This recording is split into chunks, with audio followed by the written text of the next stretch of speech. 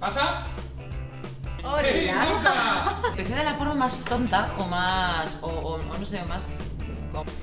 Porque en realidad es algo que llevas dentro y algo que yo siempre había querido. Y bueno, total, que me fui a hacer el casting y me quedé a trabajar. Este es nuestro primer programa de MoMA. Tenemos a Jorge maquillando a nuestras maravillosas actrices, eh, actores. Y ahora quiero que- Miedo me das.